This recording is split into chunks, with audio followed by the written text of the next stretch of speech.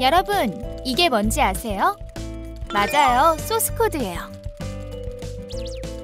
이런 소스코드에도 저작권이 있어요.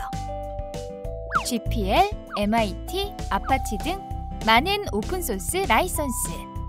이런 라이선스 정보 어디에서 찾으세요? 한국저작권위원회 오리스 홈페이지에는 오픈소스 관련 정보들이 가득해요. 코드아이로 소스코드 검사를 해보세요. 오픈소스 코드의 라이선스 정보를 검사하고 소스코드를 비교 분석하여 보고서를 제공합니다.